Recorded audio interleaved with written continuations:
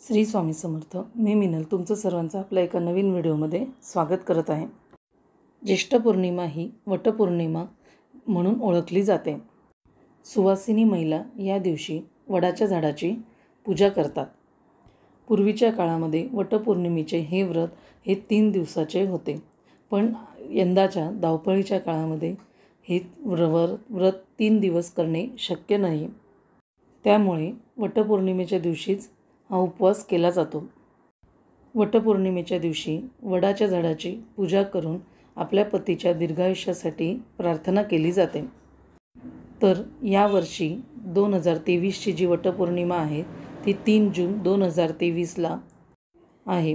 वटपौर्णिमा हा नवरा बायकोच्या पवित्र नात्याचा एक खूप मोठा सण आहे.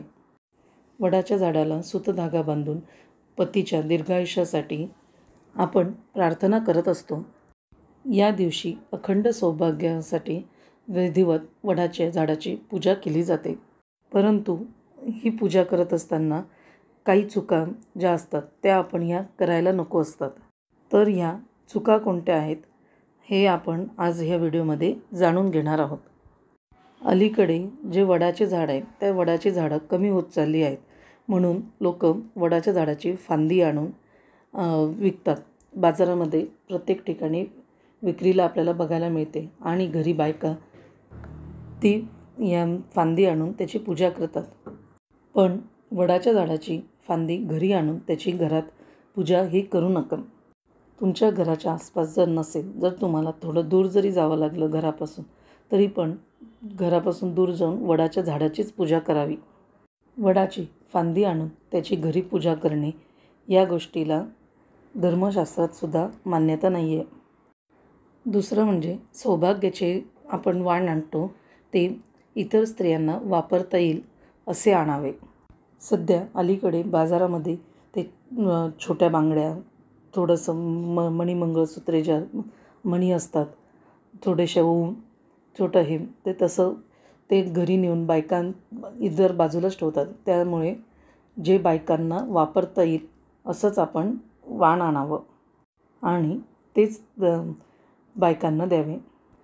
या दिवशी प्रत्येक स्त्रीने हातामध्ये काचेच्या बांगड्याच घालायला हव्या. जर आपण बघतो सध्याच्या काळामध्ये बायका मॅचिंगच्या बांगड्या घालतात. त्यामुळे त्या मेटलच्या किंवा अजून कुठल्या धातूच्या असतात. पण वटपौर्णिमेच्या दिवशी या काचेच्याच बांगड्या हातात सौभाग्यवती स्त्रीने घालायला हव्या. कारण वटपौर्णिमेची पूजा ही सोळा शृंगार करूनच करायची असते कारण ही पूजा आपण पतीच्या दीर्घायुष्यासाठी करत असतो. आणि पूजा करताना स्त्रियांनी साडीसुद्धा अशी हिरवी लाल किंवा गुलाबी ऑरेंज पिवळी अशा प्रकारेच घालायला हवी. काळी किंवा पांढरी साडी अजिबात पूजा करताना घालू नका. किंवा ज्या साडीमध्ये काळा शेड पांढरा शेड आहे ती साडी पण अजिबात वापरू नये. या दिवशी कोणाचेसुद्धा मन दुखवू नये.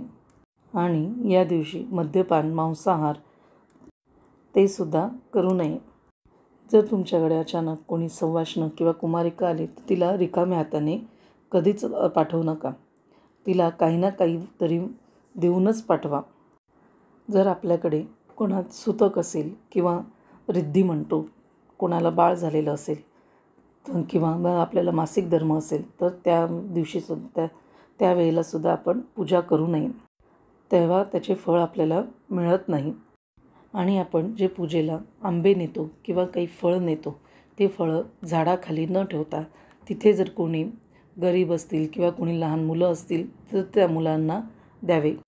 आणि आपण जे स्त्रियांना वाण देणारे ते त्या स्त्रियांना सौभाग्यालंकार म्हणजे आपण म्हणतो तर शक्यतो हिरव्या काचेच्या बांगड्या दिल्या तर अतिउत्तम. पण ते जर नसेल जमत तर सौभाग्यासाठी जे आपण अलंकार वापरतो समजा काजळाची डब्बी कंगवा टिकल्यांचं पाकिट असे तरी वाण स्त्रियांना आपण द्यायला हवे. तर ह्या काही चुका आपण वटपौर्णिमेच्या दिवशी अजिबात करायच्या नाही आहेत जर तुम्हाला हा व्हिडिओ आवडला असेल तर व्हिडिओला लाईक करा जास्तीत जास्त लोकांपर्यंत शेअर करा. म्हणजे या व्हिडिओचा फायदा अनेक लोकांनासुद्धा घेता येईल. आणि माझ्या चॅनलला लगेचच सबस्क्राईब करा आणि शेजारी असलेल्या बेल आयकॉनला नक्की प्रेस करा. म्हणजे तुम्हाला माझे व्हिडिओ आले की तुम्हाला नोटिफिकेशन लगेचच मिळतील. पुन्हा भेटूया अशाच एका नवीन व्हिडिओसोबत धन्यवाद.